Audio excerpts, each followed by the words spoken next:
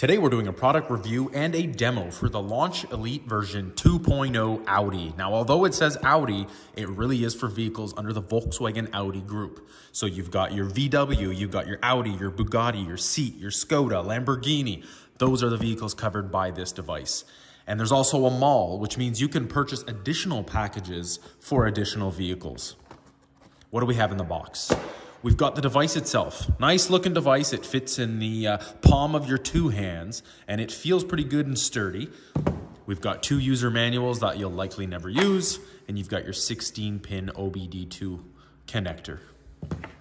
Now, right out of the box, why do I love this scanner? Well, for one, it's very budget friendly. Imagine getting a bi-directional scanner for less than $200. That's a great deal. And bi-directional is important because you can push info in, but pull info out, meaning you can do active tests, you can do resets, you can do ECU coding. You can do quite a bit with a budget friendly device like this compared to something else that's $200 that really only reads your, your trouble codes and you can't do any sort of bi-directional or active test. This is a game changer when it comes to European vehicles specifically. Active tests and the bi-directional functionality is very, very important. Now let's do a little bit of housekeeping. First thing on the list you'll notice is a four inch full touch screen. It's super stable and super smooth. You'll notice that right away and we'll do a bit of a demo as well as well show it to you on a vehicle itself. It is also bi-directional as I said, so you can do active tests and you can take full control of the vehicle like doing a fuel test, window test, pump test, coolant test, etc.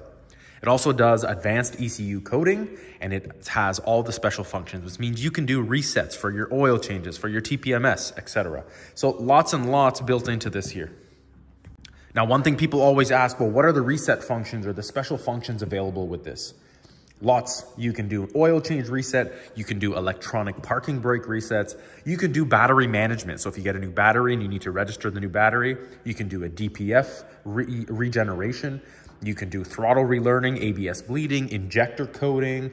It also comes with crank relearn and idle speed. So there's quite a few functionalities, especially for Volkswagen. This does have a lot packed into a very tiny scanner, but also very budget friendly for less than $200. Now, another really big benefit of this scanner is the upgrade. So it comes with lifetime free upgrade for the functionality of the scanner itself. So you can always go into the update section and you can update the software. So you always have the latest and the greatest software from launch. That's free. Most other advanced scanners will charge you two, $300 a year just to get that upgrade. So this having lifetime for free is an excellent, excellent option. So let's jump right in. We're gonna press the power button located right at the top. And now it's the typical launch screen. So you've got your diagnose, you've got your OBD2, your upgrade, your mall, and your settings. If we go to upgrade, when you first buy the scanner, you're gonna have upgrades. Right now it says zero upgradable software. That's because I've already done all of the upgrades. We'll press back, and now we'll go to diagnose. And what you'll be presented with is an auto detect. So you can click on here once you're connected to your vehicle and it'll auto detect the vehicle and the VIN number. Or you can select the vehicle manually. And you'll see here, as I said, it right out of the box, it covers vehicles under the Volkswagen Audi group. And I'm going to scroll so you can see. And that's the end of the list. So even if I click on the American tab, you won't have anything because it doesn't support that right out of the box. But if that's something that you want, you can go to the mall, which will then allow you to purchase that for an American manufacturer. So for example, if I'm looking for General Motors, we're going to go American and we'll see here Chrysler, Dodge, Jeep. $78, we can purchase that and it tells you exactly what it's going to cover. So ECU coverage, transmission, memory seat, steering angle, etc. So if you're looking for uh, additional vehicles, and it actually tells you the, the vehicles themselves that are covered, which is really cool, actually. I haven't really seen this often. This is the place to go. So not only is this scanner covering a Volkswagen Audi group, but you can expand it. So a budget scanner can now be expanded so that you have additional functionality for other vehicles if you start working on other manufacturers. So for the European fans like me, let's look at them all when it comes to the European category. You've got Aston Martin, BMW, Ferrari, Fiat, Land Rover, McLaren, Maserati, Mercedes. We've got Porsche. Porsche's quite expensive at 117. Volvo, Sprinter. And so you've got a good list. There are American vehicles as well, just so people can see here. Chrysler, GM. There's also EV as well. Let's see what they've got coverage for that. No Tesla on here. Motorcycle. So we've got the BMW, Ducati, Harley, Honda, Kawasaki, Yamaha, Suzuki. So we've got the main, main five. And that's it. So the mall does allow you to expand this coverage. You've got a 16 gigabyte memory in here, so there's ample room to save that software. Now, before we move into a demo where I plug this into an Audi with trouble codes, I wanna let you know that this is the perfect bidirectional scanner for the at-home DIYer or the garage enthusiast who's just got a few vehicles that they're working on and they're maybe just starting out in the industry and they need something that's bidirectional and bidirectional is key. And so for under $200, this is the go-to product. I really like it because it's expandable. It allows you to purchase the package for any other vehicle that you're working on, but it also core focuses on the Volkswagen Audi group, which is the reason why you would purchase this product. Highly recommended, four inch touch screen. It's got a great warranty, lifetime updates, good budget scanner for under $200. Let's move to the demo. Moving on to the demonstration, I am plugging this into an Audi Q5. Now, the first thing you'll notice is this is not a Bluetooth model, and that's correct. This is a budget scanner, so you're not getting the Bluetooth dongle. However, I have seen that with a lot of these cabled uh, OBD scanners that the actual OBD plugin is usually really thick. And I've seen complaints of people saying it doesn't fit into the OBD 16 pin socket. This is a very slim version of that OBD socket. So I really like this. Good job launch. Did a good job with making sure this fits in every single vehicle. Now I'm gonna go ahead and plug this into the vehicle and we're gonna do a scan. Now, as soon as I plugged it in, it picked up the VIN number and now it's doing a software or a firmware update. You'll see now it's scanning for the VIN number. You'll see right away it picks up the VIN number of the vehicle. And interestingly enough, it didn't give me an option as to what it is I wanted to do with the vehicle. Instead, it jumped right into diagnostics. So it's doing a health report right now. It's going to go through each of the modules and it's going to tell us where or if we have any fault codes. And as you can see, we do have fault codes already coming up. So we're going to let this finish scanning and then we're going to go through it one by one to show you the level of depth and the level of detail that we're getting through this budget scanner. So now that's completed, it actually puts together a very nice report, shows that it's an Audi Q5. And if you had put in the shop name and the address, it would show up here as well. It shows you when you did the diagnostic report.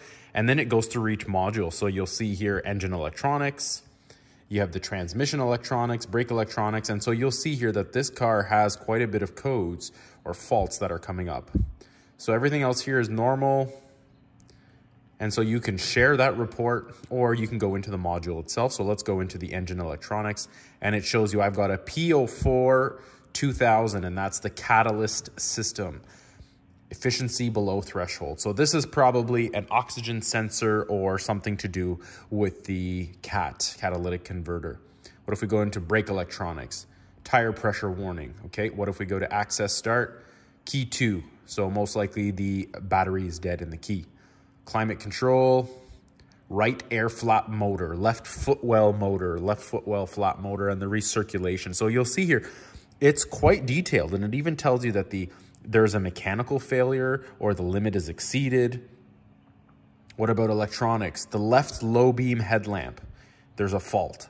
And yes, the left bulb is burnt out. So it is quite detailed for a budget scanner, and I'm very happy with what it's pulling here. When you press back on that report, it then pulls up all of the issues on one page. And I can go into each fault. So if I click on the climate control fault, It'll communicate and it'll give you a little bit more information. It'll actually show you the part number, the hardware part number, a description, and the coding. So that's really cool actually to see it give you all of this information, including the part number. Uh, that's very handy for those DIYers at home in the garage who don't have access to shop software. So earlier we weren't connected to the vehicle and so we couldn't click on the OBD2 button, but we're gonna do that now. And what this is gonna allow you to do is jump into the bidirectional active tests, the live data, the freeze frames, and allow you to graph live data for things that uh, you're looking to diagnose.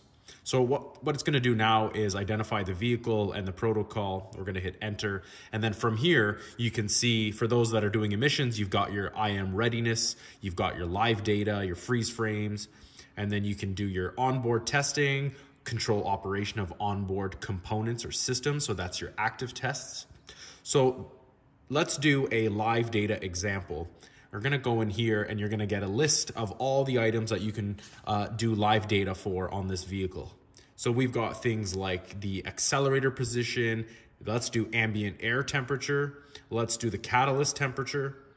And let's do the engine coolant temperature along with the fuel rail pressure and hit OK. And now you're presented with that data. So as you can see, the ambient air temperature is 18. You've got the catalyst temperature, engine coolant temperature, and the fuel rail pressure. And we can click into a graph where it'll then graph it for you and show you that if the vehicle was on this graph would be moving, the temperature would be getting warmer, but it goes to show you that this budget scanner is capable of graphing live data, and this is really important for those DIYers. Now I'd like to show you how you run the active tests as well as the special function resets. So once you go into the diagnostics tab, you'll actually, instead of doing the auto detect, you'll hit the vehicle that you're using. So we're gonna click Audi and hit okay. And from there, you'll get to the health report, system scan, and then you have system selection and special function. So system selection is gonna allow you to go into the module and do active tests, special function. Well, this is for brake resets, uh, battery management. So you'll see here that some of the options are uh, service reset, battery matching, steering angle learning, headlamp adjustment, trailer matching, etc. So here's a long list. And uh, we'll go back and let's do a system scan. We'll do system scan again. Once your system scan is complete, you'll go into the item that you're looking for. So let's, for example, take driver door electronics. So we're gonna hit okay. We're gonna do actuation test, okay. And we're gonna read by list. And now it's saying lowering the window regulator or testing the mirror heating function or raising the window regulator. So let's do lowering the window regulator as well as raising. And you're gonna hear the window actually go down and go up. So we're just gonna select one at a time, hit okay, start.